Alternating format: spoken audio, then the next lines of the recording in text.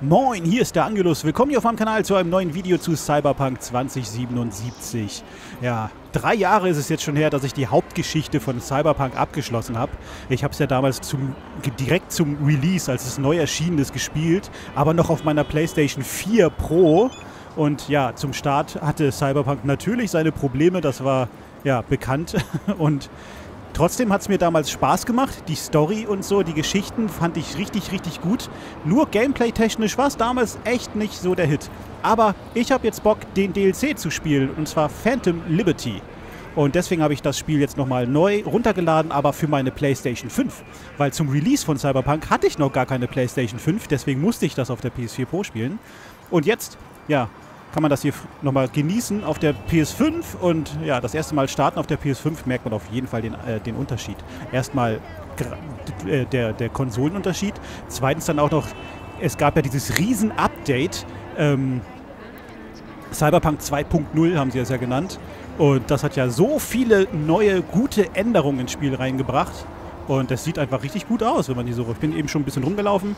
Drei Jahre, ich muss erstmal wieder ins Spiel reinfinden, Leute. Ne? Deswegen ähm, starte ich jetzt hier, hier mit dem Video auch nicht sofort mit dem DLC, sondern ähm, ja, kündige da noch ein bisschen was an und schaue mir gleich noch mal ein paar Sachen an hier. Ähm, ja, drei Jahre nicht drin gewesen und jetzt muss man sich erstmal zurechtfinden im Spiel, die ganzen Änderungen checken, ähm, neu skillen. Die ganzen, die ganzen äh, Skillbäume sind komplett überarbeitet worden. Das heißt, ich musste, ich musste alle Punkte neu verteilen. Und musste da erstmal mich wieder erinnern, was ich vor drei Jahren für eine Skillung hatte. Die wollte ich ja natürlich wieder ähnlich beibehalten. Die funktioniert jetzt aber äh, noch besser als früher und so. Also ist schon echt krass. Aber ich konnte meinen PlayStation-Spielstand ähm, importieren. Das heißt, das hier ist meine, meine Wii kurz vor der, vor der letzten Mission. Da habe ich hier im Journal, im Journal noch die letzte Mission drin. Und zwar hier Nocturne da kommt dann das, das Treffen, trifft dich mit Hanako im Embers und danach ja, ist ja das Finale. Und dieser Spielstand ist jetzt hier halt noch äh, ja, über, äh, übernommen worden. Da werde ich dann halt das, äh, den DLC spielen, weil der DLC spielt wieder eine Geschichte, die vor dem Ende von Cyberpunk nochmal spielt. Ähm, ja, deswegen passt das eigentlich mit dem, mit dem äh, Speicherstand hier eigentlich ganz gut mit Level 38 und so weiter. Und eine Spielzeit habe ich hier in Cyberpunk bei dem Spielstand von 84, ja fast 85 Stunden. Da hatte ich das da, da bin ich dann äh, in, in das Finale gegangen. Da kamen dann noch mal ein paar Stunden dazu. Und am Ende war ich dann so bei 87, 86, 87 Stunden, als ich das Spiel dann durch hatte.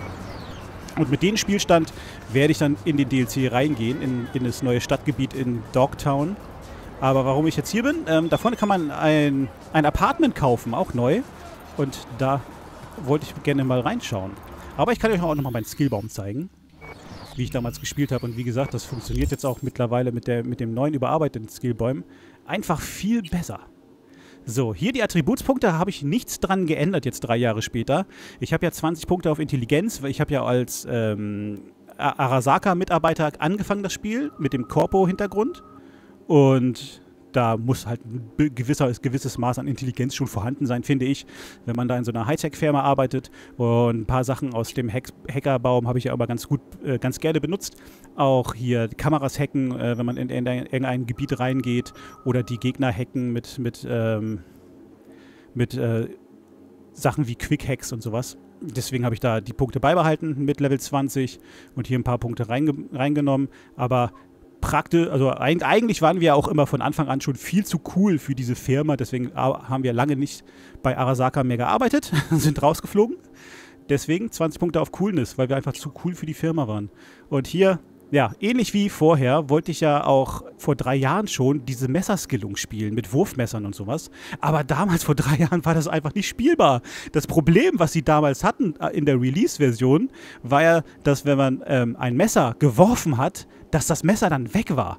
Du musstest erst äh, äh, entweder hinlaufen und es äh, wieder aufheben oder es ist kaputt gegangen und war es ganz weg oder du hast es plötzlich irgendwie oder, oder dummerweise so geworfen, dass es irgendwie von der Brücke fällt oder, oder keine Ahnung, ein paar Stock Stockwerke runter und dann war das Messer halt auch weg. Deswegen hatte ich eine gut, gute Messerskillung damals vor drei Jahren, habe mich aber nie getraut, das Messer zu werfen, weil ich das nicht verlieren wollte, weil es ja auch gute Messer gab im Spiel mit guten Stats drauf und legendäre Messer und sowas. Und deswegen habe ich äh, die Messer nie geworfen und habe dann eher nur äh, den Nahkampf benutzt. Aber jetzt hier mit ähm, Cyberpunk 2.0, mit den neuen äh, mit den neuen Skillbäumen haben sie eingebaut, dass die Messer zurückkommen. Hier, da sind minus 15% ähm, Rückkehrzeit für Wurfwaffen. Und hier, hier oben auch nochmal minus 15%, 30% äh, ja, Rückkehrdauer. Und wenn ich einen, einen Gegner mit einem Headshot, mit einem Messer, also das Messer direkt in den Kopf werfe und der dadurch stirbt, habe ich mein Messer sofort wieder in der Hand und kann gleich auf den nächsten Gegner werfen. So kleine Änderungen, ne, die das Spiel gleich oder das Gameplay gleich viel besser machen, dass das Messer nicht einfach weg ist, wenn du es schmeißt, sondern dass du jetzt eine richtige Messerskillung auch spielen kannst, weil das Messer immer wieder zurückkommt. Echt? Wieso war das damals nicht drin? so, denn hätte mein erster Spieldurchlauf auch auf Gameplay-technisch noch viel mehr Spaß gemacht. Also ich war ja Gameplay-technisch früher nie, nie überzeugt von Cyberpunk, aber Geschichte hat mich halt am, am Ball gelassen. Hey, ich gehe über die Straße. Äh, aber die Geschichte hat mich halt am Ball gelassen, weil die Charaktere so gut geschrieben waren, weil die Story so spannend war und auch gut geschrieben war. Das hat mich halt am Spiel gehalten. Und jetzt hast du halt beides, dass das Gameplay noch viel, viel besser geworden ist und zusätzlich noch die gute Story. An der Story haben sie ja nichts rumgeschraubt, die ist ja immer noch genauso gut wie vorher. Und mit der Coolness habe ich auch noch ein bisschen gut Sprinttempo. Was haben wir denn hier? Ich gehe nur durch. Ich will nur da unten die Wohnung kaufen. Wollt ihr doch? Ich glaube, die wollen Stress. Da sieht er das. Hey, wo ist mein Messer?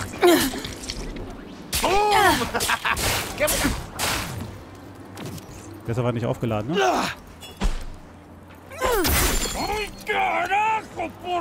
Oh, carajo! Und jedes, jeder Wurf geht einfach ins Schwarze, in den Kopf. Voll gut. Jetzt kann ich endlich meine Messerskillung spielen. Habe ich jetzt schon wieder voll Bock drauf, das im DLC zu machen. Und Klamotten, ne? Klamotten genauso. Früher bin ich mit dem letzten Ranz-Outfits rumgelaufen, weil ähm, die Klamotten ja Rüstung und so drauf hatten. Und man wollte ja, man wollte ja besser, bessere, bessere Stats haben für den Charakter. Und deswegen hatte ich da voll schlechte Klamotten. Jetzt haben sie das geändert. Klamotten geben gar nichts mehr. so, ich, ich glaube, es gibt ein paar Teile, die vielleicht noch so ein bisschen Rüstung drauf haben, aber sonst geben Klamotten nichts mehr. Das ist einfach nur Style. Also man, man kann sich jetzt kleiden, dass man gut aussieht. Deswegen war ich noch auch shoppen. Ich war früher nie Klamotten shoppen mit dem Spiel, weil ich dachte sowieso, hey, wenn ich was finde, was bessere Rüstung hat, dann ziehe ich das eh wieder aus. Es hat sich damals einfach nicht gelohnt. Jetzt kann man sich Klamotten kaufen und ähm, die einigermaßen auch cool aussehen für den Charakter, die so passen. Neue Schuhe habe ich mir gegönnt, Oberteil, Hose und so.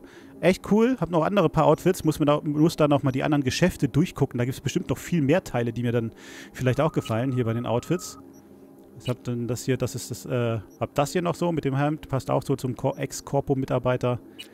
Dann hier fehlt mir noch irgendwie eine Jacke. Da habe ich mir nur, das Top geholt, aber das ist noch nicht fertig, das Outfit. Überall so ein paar Teile. Auch hier will ich noch irgendwas haben, um da noch mehr anzuziehen. Aber hier die Jacke ist schon mal ganz nett. Ähm, und jetzt haben sie ja das so geändert, dass die Cyberware hier ähm, dafür zuständig ist, dass man auch noch äh, Panzerung bekommt. Man sieht, ich trage immer noch die alte Cyberware von vor drei Jahren, die ich äh, am Ende des Spiels ja auch die ganze Zeit drin hatte. Und da habe ich einfach, ich habe einfach keine Panzerung jetzt hier auf 282. Und hier oben sollte es einfach, einfach sein bei 1100. Da muss ich, da hoffe ich, dass ich im DLC neue Cyberware bekomme, wo ich dann auch ähm, die Panzerung höher kriege. Weil so ist das sonst echt blöd. Aber natürlich, dass man jetzt den ähm, DV auch jetzt anziehen kann, dass sie auch stylisch aussieht, auch wieder ein Pluspunkt.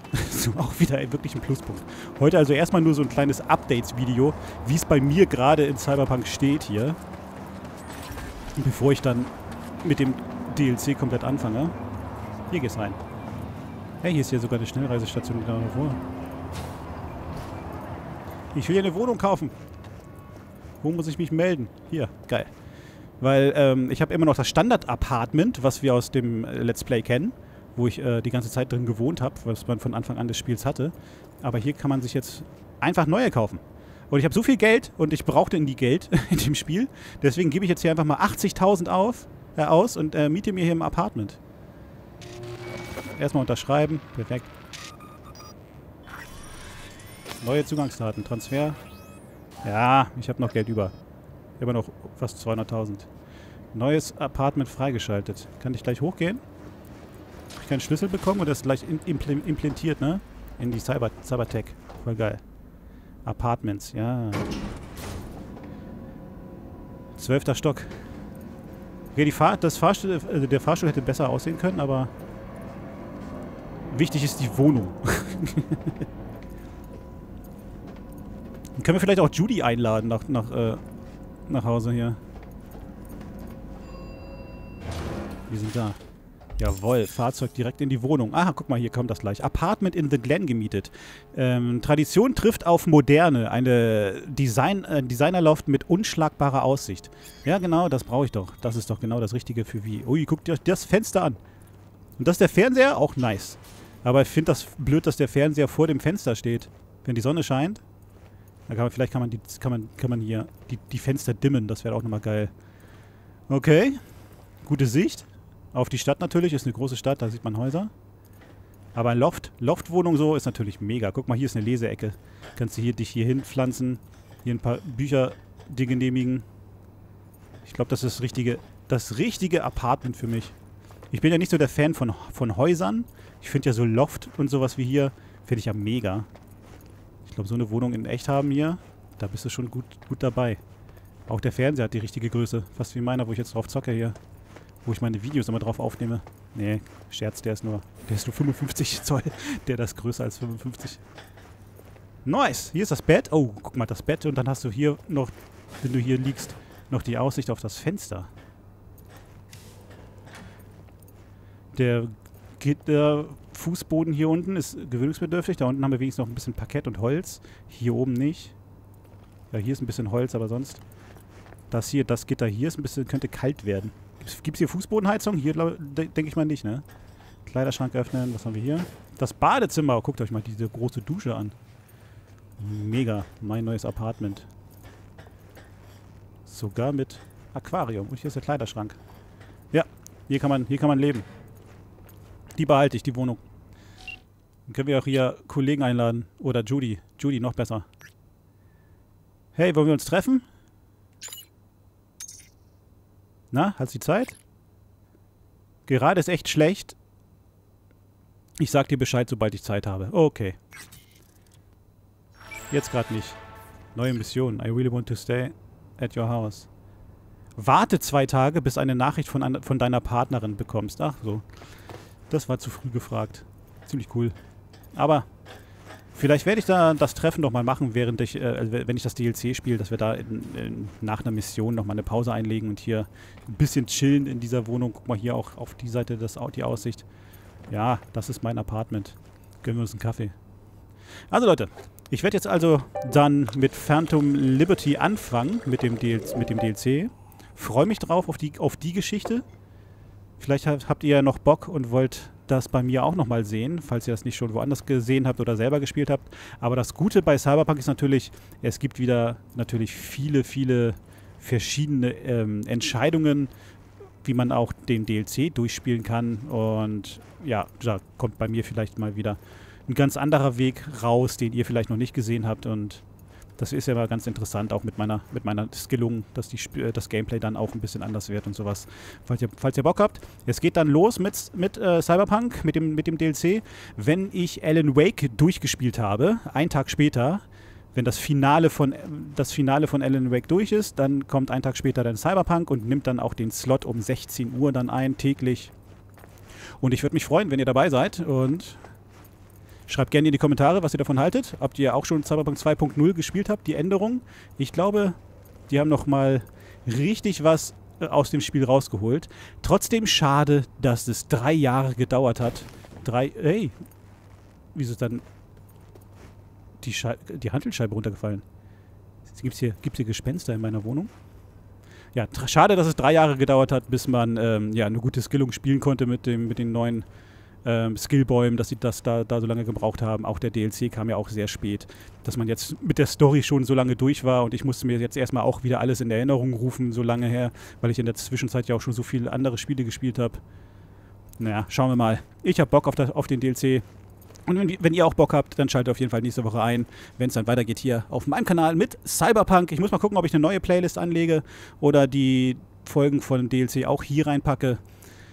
Werdet ihr dann sehen. Es geht auf jeden Fall. Also ich werde es auf jeden Fall spielen. Also Leute, danke, danke für eure kurze Aufmerksamkeit hier bei diesem äh, Update-Video, wie es bei mir mit Cyberpunk im Moment aussieht. Und dann, ja, bis, äh, bis zum nächsten Video und bis zum Start vom DLC. Haut rein. Bis dann. Ciao, ciao.